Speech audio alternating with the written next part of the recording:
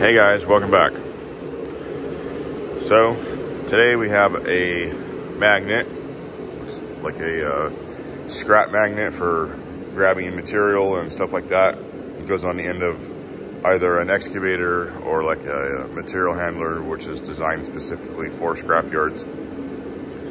So this bracket is off of the old magnet and just by looking at it without even trying it, I can see that those little uh, one inch plates, fingers on the bottom, definitely too narrow to fit inside of where this is. So our job is to pull this chain off. We're gonna set that on there and then make new brackets to fit right in here. Should be fairly simple and then come up with a creative way to protect that cable as best we can most specifically on the bottom side of this flange. I don't even know what this is or where they, what this originally was. It looks kind of interesting. But you see all kinds of interesting stuff in the scrapyard, and someone decided to utilize it to their uh, advantage. All right, well, let's get these chains off, and then let's get that set up there, and we'll start doing our, our CAD design, cardboard assisted design.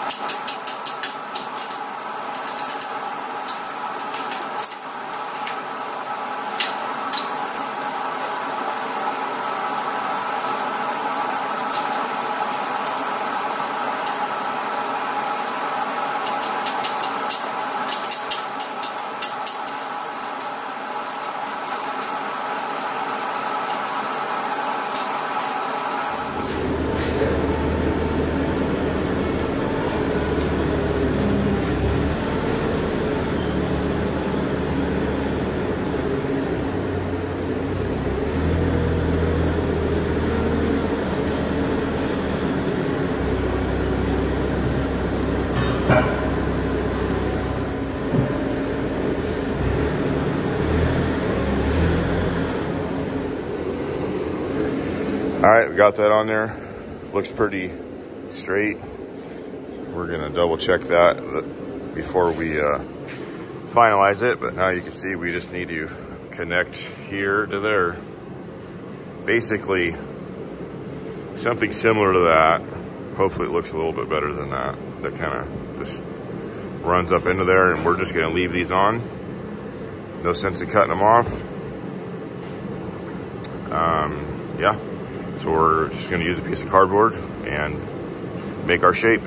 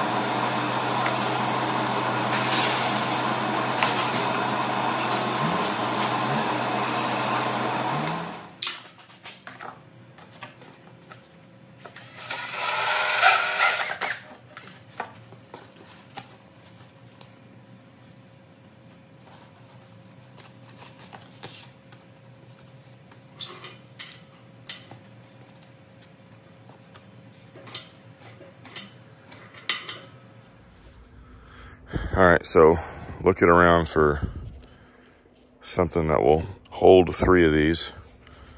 And the best I have, I think, is this three quarter AR400. I don't really want to use that. So I think we're gonna just go to my buddy shop and CNC cut this on plasma table out of some one inch.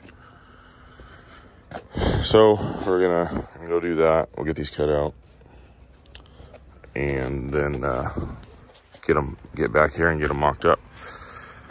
Well, it's been a while since I've posted. There's been a lot going on, my side. Was sick for a little while. I feel a lot better now. But here you can see, here's service truck number three. A lot of time and effort has been put into this truck. Basically, we mounted the, the body, the boxes, powder coated the welder black. The crane is at powder coat right now. Being powder coated black. A lot of work has went into that with wiring, setting up PTO, everything. You can see we redid these outriggers. They've got dust on them. But everything, trying to make everything look brand new as possible. New lights, all that. So, you can see there's just projects everywhere. So hopefully I'm back to posting on a regular basis. And uh, now let's get this done. Here he comes every morning. Is super excited to come out to the shop.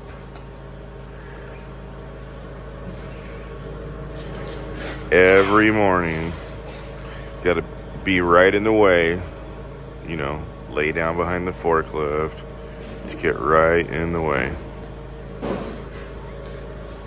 But that's that's what a good shop dog does, you know. All right, here we are. We're going to turn our cardboard into reality.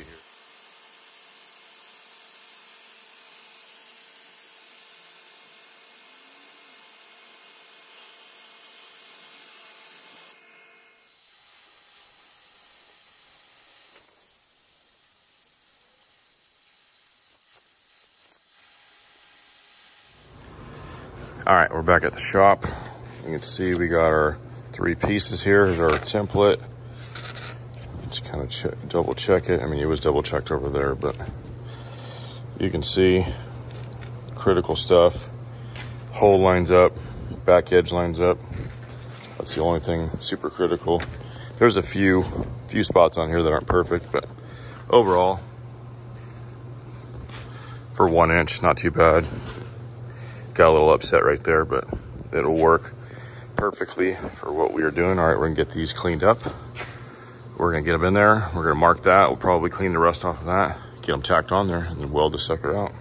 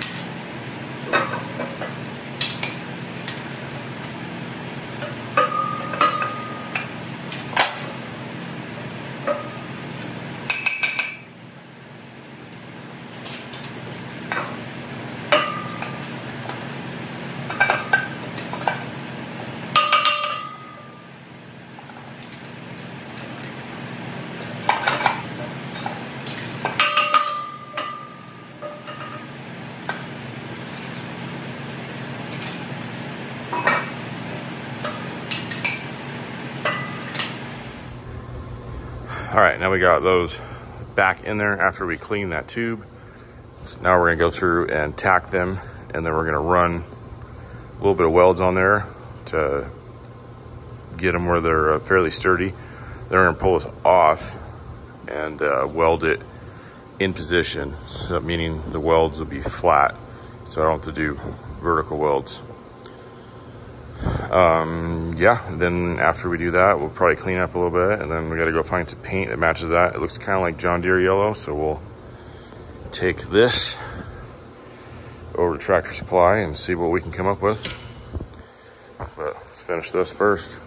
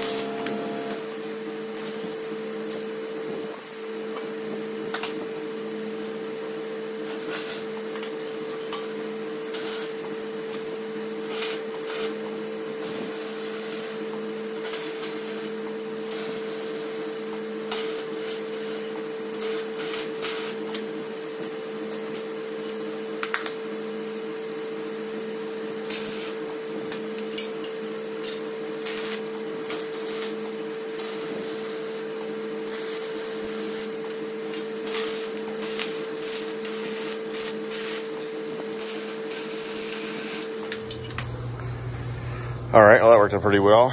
And should be able to rotate this on here. I'm not gonna pull on it too hard, but we could probably get a cheater bar in uh, in that hole and then rotate it on the fork. So that'll work out well. All right, let's get to welding here.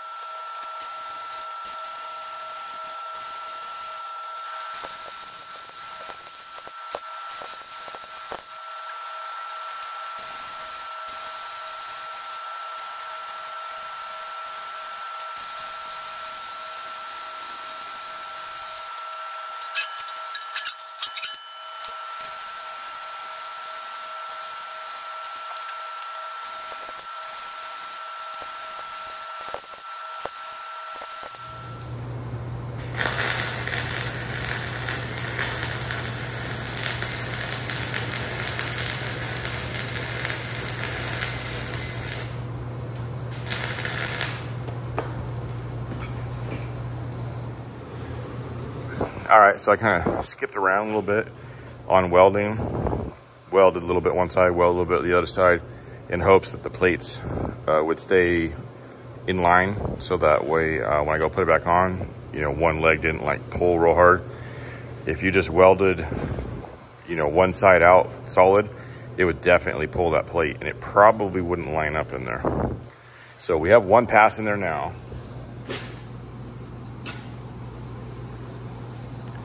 Now we're gonna go ahead and do two more passes. I think three passes on that is more than sufficient. So we're gonna weld this all the way out. So two more passes on every single seam and then we'll set it back in there, double check to make sure it fits. And then they do want this painted. Um, like I said, we're not gonna go crazy on the paint or the prep work. We'll probably wire wheel it a little bit and try to get some of the big stuff off, but you know, I'm not gonna Bondo this and DA it and all that we're just gonna get scratched up and and all that. And we still have to uh, deal with these wires. But all right, let's get this welded out.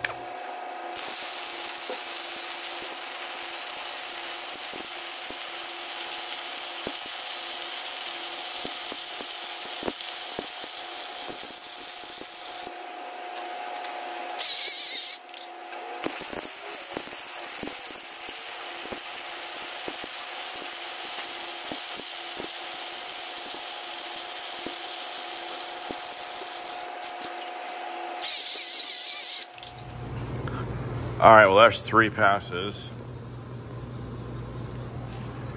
I'm gonna do that all the way around, then I'll bring you back.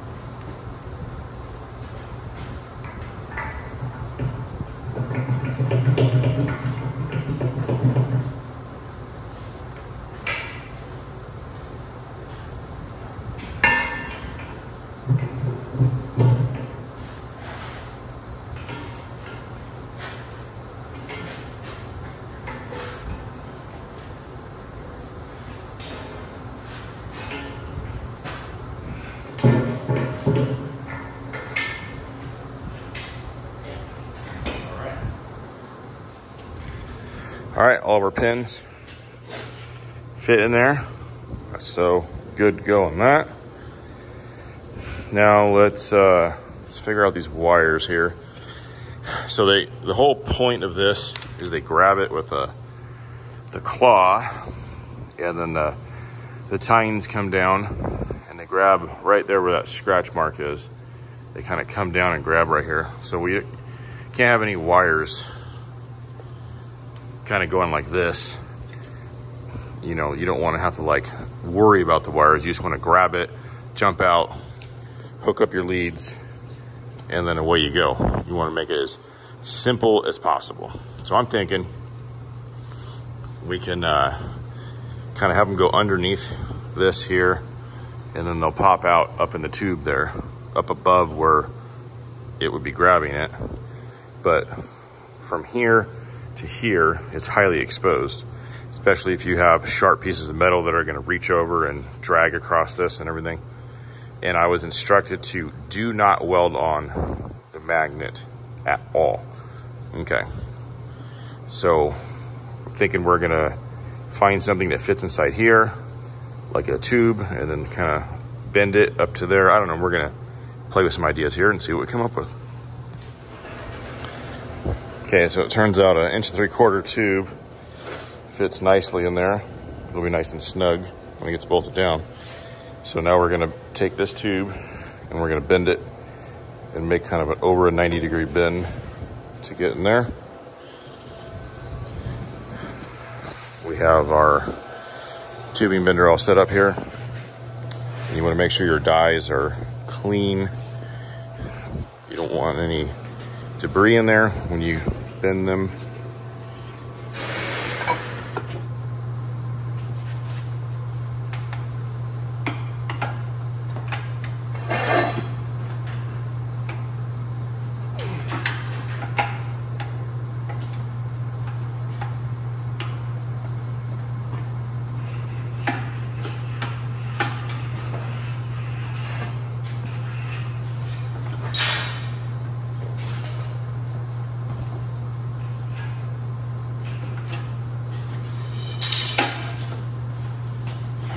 Thing is sliding around.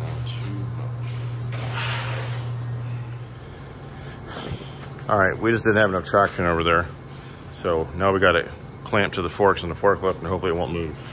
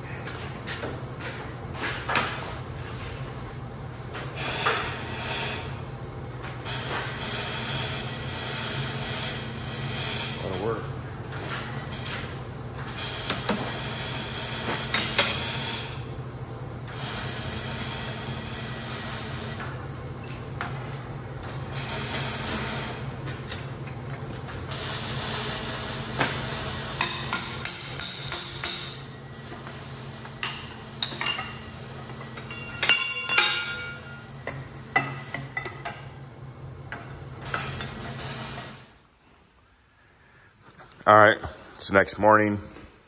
We have our uh, our piece bent. I had to go to the store before they closed to try to get that paint, and then, of course, it happens to be raining.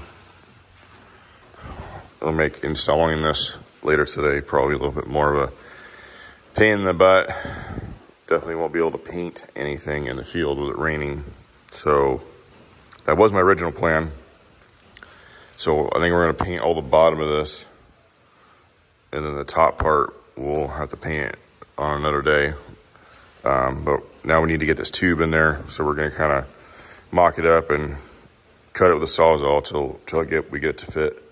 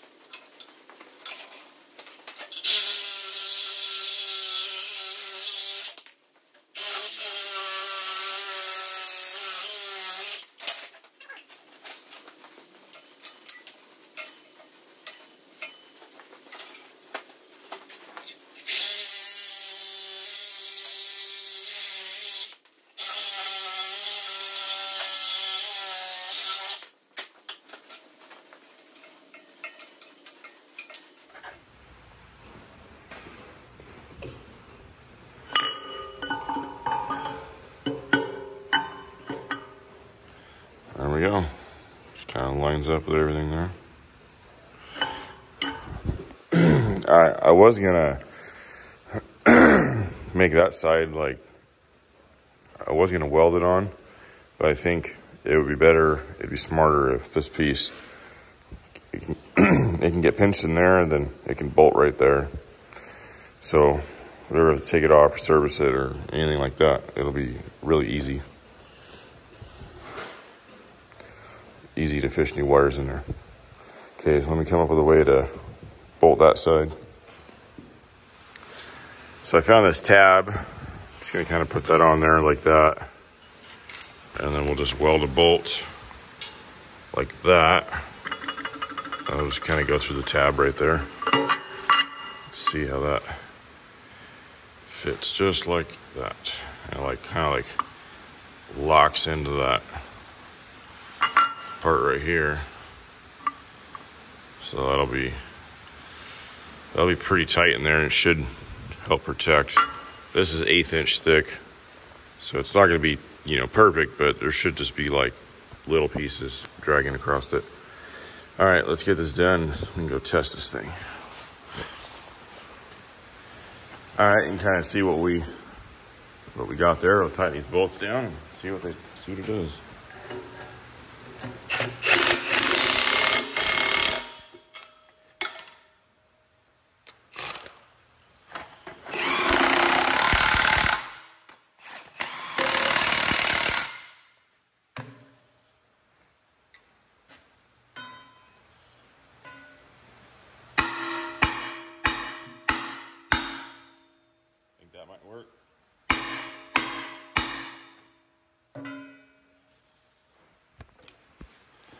All right.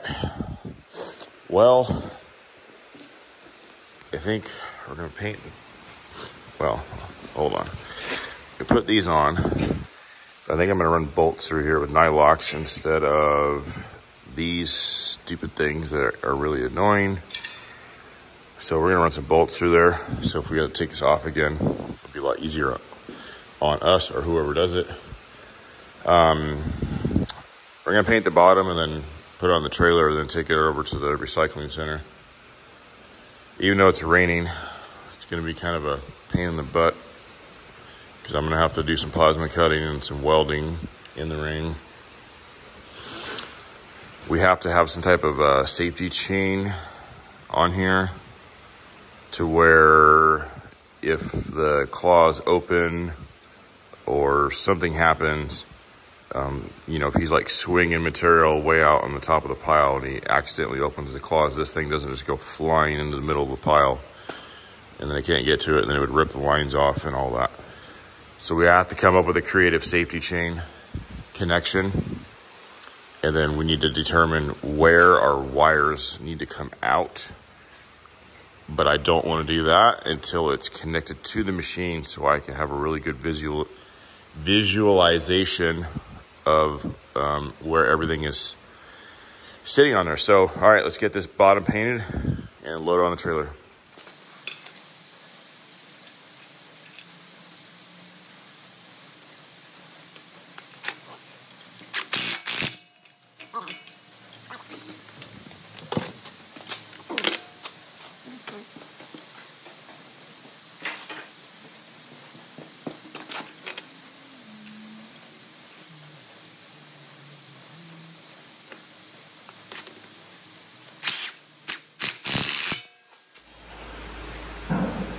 All right, got it painted. It's not an exact match, but it's pretty close. All right, we're gonna let this dry a little while before we uh, take it out in the rain. So uh, we're gonna clean the shop up a little bit and go over to the recycling center.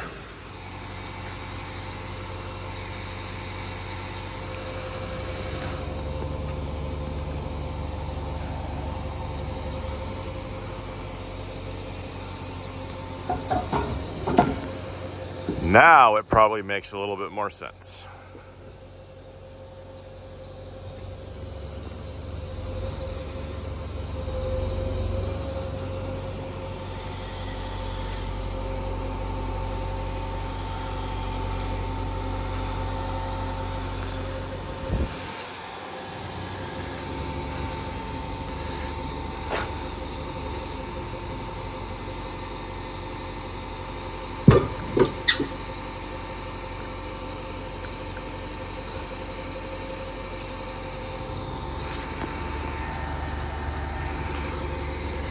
All right.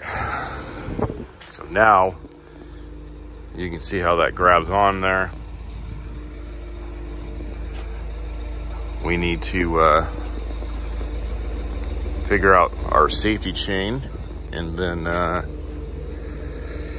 then get run our wires. Looks like our wires can, can come up come up higher, so that'll be good. All right, let's get to it. All right, so I think we're gonna do this again, this is a safety thing. This is not, um, you know, going to be how it's held. This is rated at 26,500 pounds. This magnet weighs about 4,500 pounds, I think. So we're just going to put one there. Then we're going to weld one right here. Like that. And then for, for today, we have this half inch chain we're going to put in there. But we're going to uh, it's the weekend, so we can't do it. But on on a Tuesday, I think we'll you know we'll get a shackle and a chain with a hook. That way you can just hook it, and then you're super easy. Hook it, unhook it, and then we're just gonna cut a deal for our our wires. We'll cut a spot right there, and then they go right there. And then uh, not today, but probably on Tuesday again, we're gonna get that heavy plastic that's wrapped around hydraulic lines. And then all of the wires from here up will have all of that, well, all the way down the tube to there. They'll all be protected. But we don't have that today. So let's get this uh, hooked up here.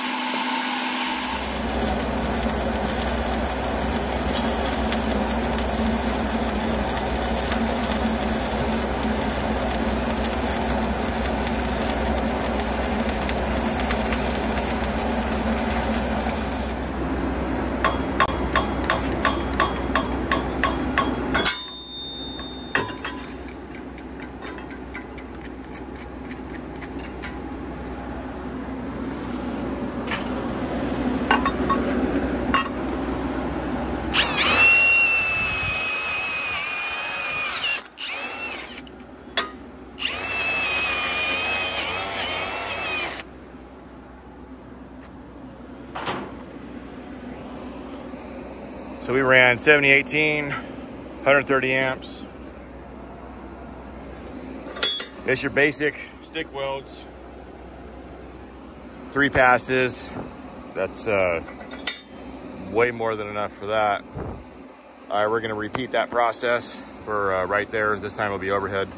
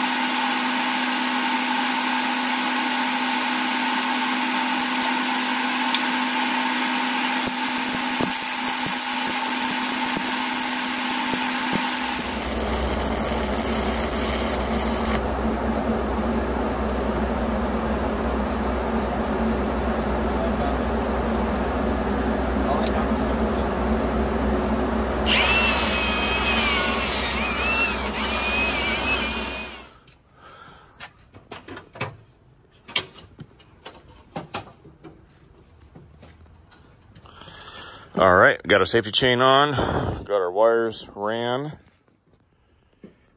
So now we're gonna hook them up and just double check everything works. Probably gonna wait to paint um, the rest of this until it stops raining. All right, well, does the magnet work like it should? Let's see. Got some engine blocks here. Differential there.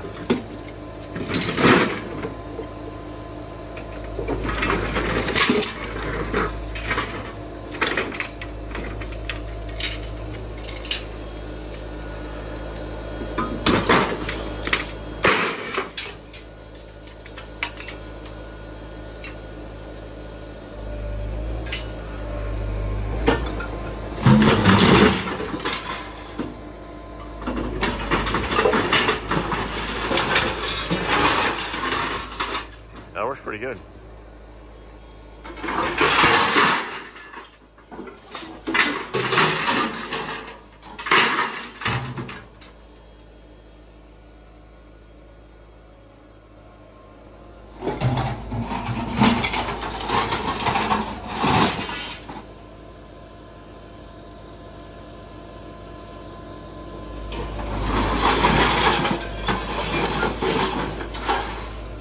Heck yeah.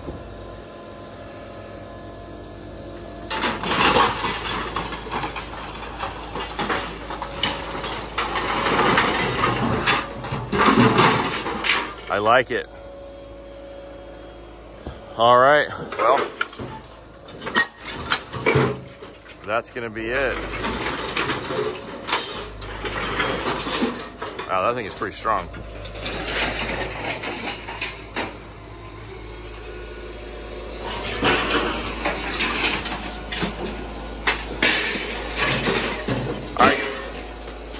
Right, guys. Well, that's it for this video. Thank you for watching. Stay tuned for the next one.